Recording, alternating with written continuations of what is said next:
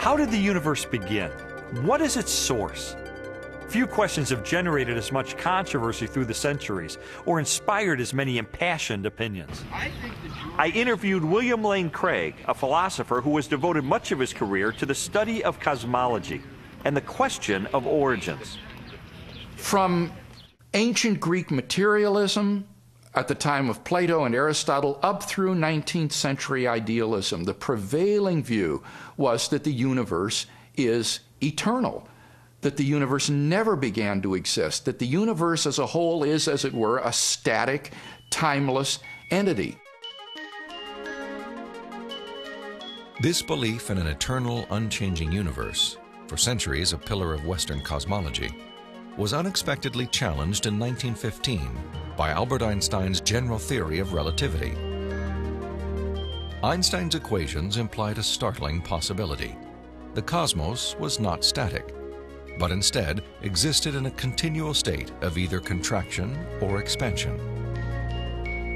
Einstein did not like the idea that the universe was dynamic at all. In fact, like almost all scientists at the time in the early 20th century, he assumed the universe was static and eternal.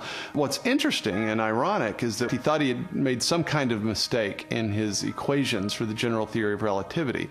Uh, but a few years after he developed the theory, a Belgian astronomer named Lemaitre developed a model based upon his equations, which again predicted that the universe was in a continual state of expansion.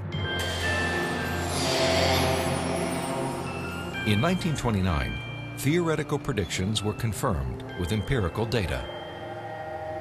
At the Mount Wilson Observatory overlooking Los Angeles, astronomer Edwin Hubble studied light from distant galaxies. Hubble determined that galaxies beyond our Milky Way were moving away from us at a speed proportional to their distance from the Earth. The more distant the galaxy, the faster it is receding. Hubble's landmark discovery led most astronomers and physicists, including Albert Einstein, to a similar conclusion. If the universe is continually expanding, then at earlier points in its history, it must have been smaller and denser.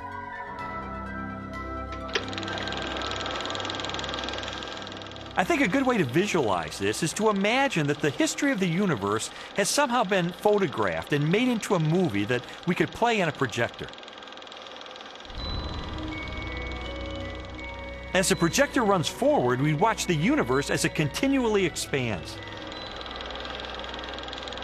But if the projector were to be stopped and were switched into reverse to make the movie run backward, then instead of watching the galaxies move farther and farther apart from each other, we'd see them draw closer and closer together.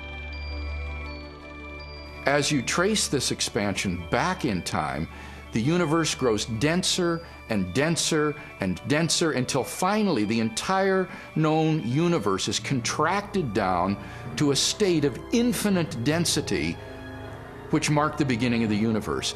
At this point, which cosmologists call the singularity, all matter and energy physical space and time themselves came into being.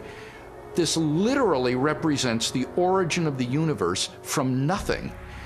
So the startling implication of Hubble's discovery was the temporal finitude of the universe, that the universe had an absolute beginning at some point in the finite past.